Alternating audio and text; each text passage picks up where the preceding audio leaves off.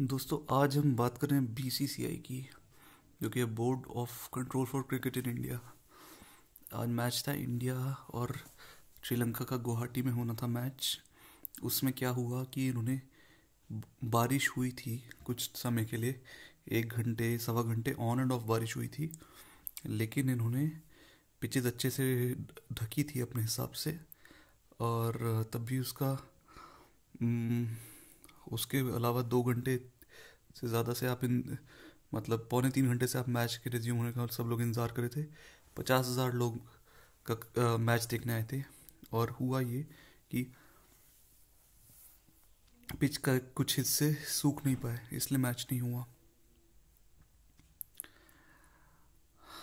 ये जो पिच सूख नहीं पाई है, ये चीज़ आप कभी इंग्लैंड में, ऑस्ट्रेलिया में, न्यूजीलैंड में, साउथ अफ्रीका में किसी भी कंट्री में नहीं देखेंगे, जिन, जो, जिनका ड्रेनेज सिस्टम अच्छा है और जिनका रेवेन्यू बीसीसीआई का के आसपास भी नहीं है। बीसीसीआई दोस्तों तीन हज़ार करोड़ रुपए से ज़्यादा हर साल कमाती है। और एक जो मोबाइल कवर होता है मोबाइल एक कवर होता है, आपने देखा होगा यूके इंग्लैंड में कभी भी मैच होता है या इन सब कंट्रीज़ में Australia England New Zealand South Africa में तो वो मोबाइल कवर जो है वो पिच को कवर करके रखता है, उससे पिच में इस तरह की डैम्पनेस नहीं होती कि वो हटाया कवर और उसका पानी गिर गया था, इसलिए पिच डैम्प हो गई। तो तीन हज़ार करोड़ रुपए बीसीसीआई कमाता है, पाँच लाख से ज़्यादा की वो मोबाइल कवर नहीं आता है। और बीसीसीआई इतना पैसा कमा के वो कवर अगर नहीं खरीद सकती है ड्रेनेज फैसिलिटीज़ ग्राउंड्स की अच्छी नहीं रख सकती तो बीसीसीआई प्लेयर्स का शायद से अपना पूरा ख्याल रख रहे हैं, लेकिन क्राउड का ख्याल और फैंस का बिल्कुल इन्हें ख्याल नहीं है। पचास हज़ार लोग इस मैच को देखने आए थे।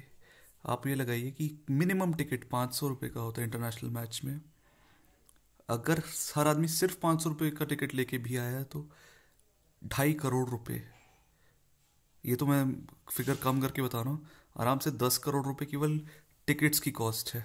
उसके अलावा एडवर्टाइजर्स एक मैच से ही बीसीसीआई कितने करोड़ों रुपए मतलब अरबों रुपए कमा लेता है एक मैच से बीसीसीआई और पाँच लाख का एक सॉपर अगर इस देश में पचास ग्राउंड भी है और बीसीसीआई को हर ग्राउंड पे भी रखना पड़े तो ढाई करोड़ से ज़्यादा खर्चा नहीं होगा बीसीसीआई का। And this is so word of BCCI आप स्टेडियम मैच देख, देखने जाते कोई क्राउड के लिए फैसिलिटीज़ नहीं होती। धक्का मुक्की करके आप पहुँचते हैं, आपकी कोई सीट रिज़र्व नहीं होती। जो चाहे, जहाँ चाहे बैठ सकता है, आपके सामने लोग आके खड़े हो जाते हैं। कोई कुछ नहीं करता, पुलिस भी कुछ नहीं करती वहाँ पे। एंड खाना पचास गुना ज़्यादा रेट पे दिया जाता है। अब वॉशरूम फैसिलिटीज़ भी कोई बहुत अच्छी नहीं है। किसी भी ग्राउंड में आप इंडिया के चले जाइए। और B C C I this is very bad of B C C I इतने रुपए कमाने के बाद आप एक मशीनरी अच्छी नहीं रख सकते। आप अगर क्राउड के लिए फैसिलिटीज़ अच्छी नहीं रख सकते। सीट्स यूके में वर्ल्ड कप तक में, मैं मैंने देखा था एक एक सीट रिज़र्व थी हर पर्सन की टिकट के साथ। यहाँ पे वर्ल्ड कप तक में रिज़र्व नहीं होती या किसी आईसीसी टूर्नामेंट में भी रिज़र्व नहीं होती।